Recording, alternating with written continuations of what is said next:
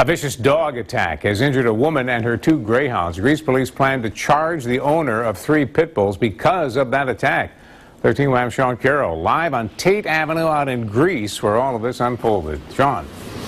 Yeah, Don, we should mention we have some photos and video of this attack and the aftermath of the attack that are simply too graphic to show you at this hour. It happened on this stretch of Tate Avenue behind me outside of a home where these pit bull mixed dogs actually live. Police say the owner of those dogs has surrendered them to the town and that he is cooperating with their investigation questions and other things. So Nancy Kliss may require surgery for her hand, but she and her dog Vixen, who was also hurt, are more concerned about nine-year-old Dasher, who is receiving round-the-clock medical care she is such so full of life and so playful and she's just at least she still gives kisses.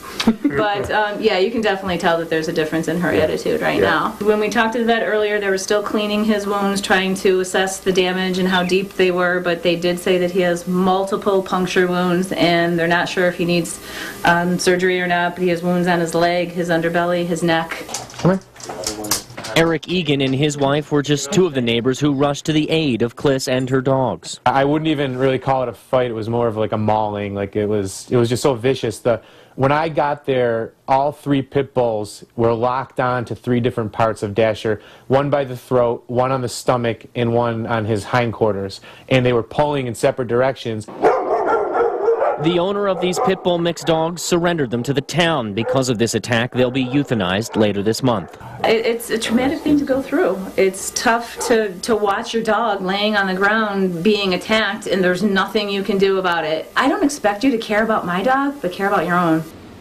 Already, neighbors here are organizing an event to be held this Sunday to help raise money for the Kliss family for their medical bills and veterinary bills. They expect to be in the many thousands of dollars. They're calling Sunday's event Dash for Dasher. Greece police say that uh, the owner of those dogs uh, expects should expect to face charges, uh, three charges per dog for, uh, and the maximum fine for those charges could be $500, and sometimes that's accompanied by court-ordered restitution for medical and vet bills, of course, if found guilty. Reporting live in Greece, Sean Carroll, 13, Wham News.